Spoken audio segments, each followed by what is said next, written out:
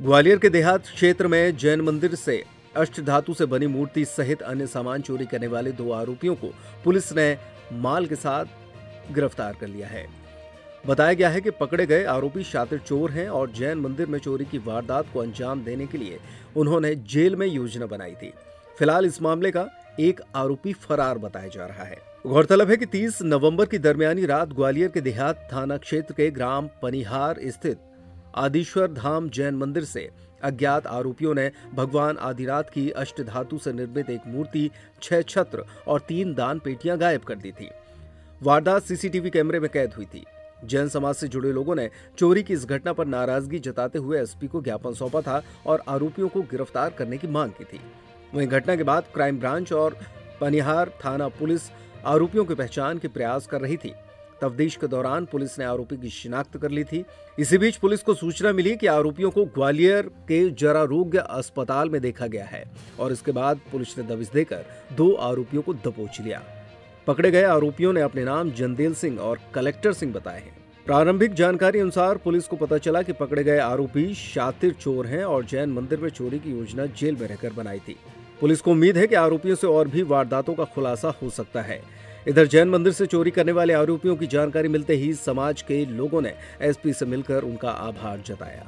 ये पनिहार थाना क्षेत्र अंतर्गत दिनांक 30 नवंबर को रात्रि में एक जैन मंदिर में चोरी हो गई थी और जिसमें कि एक भगवान आदिनाथ की छोटी प्रतिमा और छत्र जो भगवान के शीर्ष पे होते हैं ये छह छत्र चोरी चले गए थे। आ, ये चूँकि आस्था से जुड़ा हुआ मामला था आ, इसमें आ, हमारे दोनों एडिशनल एसपी दोनों डीएसपी और क्राइम की टीम और थाना पनिहार।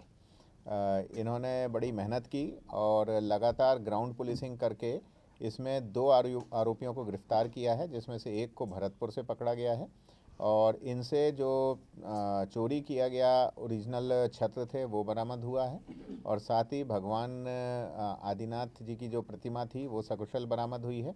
जो पकड़े गए दो चोर हैं, ये उसमें से एक मुरैना थाना सराय छोला क्षेत्र का रहने वाला है एक चिनौर क्षेत्र का रहने वाला है, जो सराय छोला क्षेत्र का रहने वाला है, उसके ऊपर करीब पंद्रह मामले लूट और चोरी के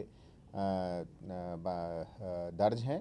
इसमें मूल कहानी ये है कि जब ये चोरी हुई तो इसके बाद थाना पनिहार के पुराने चोरों से पूछताछ आरंभ की गई और उसी में ये क्लू मिला कि ग्वालियर सेंट्रल जेल में ये जो बदमाश हैं, इनकी मुलाकात एक पनिहार क्षेत्र में रहने वाले बदमाश से हुई और उससे पूछताछ में ये पता चला कि पनिहार में एक जैन मंदिर है जहाँ पे इस तरह की मूर्तियाँ हैं। और इस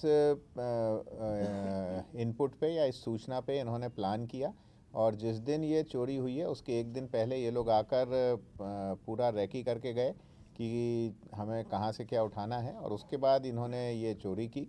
परंतु इसमें ये बात भी थी, जो छत्र थे, चूँकि इनमें चमक ज़्यादा थी तो इनके मन में ये था कि इसमें काफ़ी मात्रा में स्वर्ण धातु है या सोना है, और किंतु ऐसा नहीं था।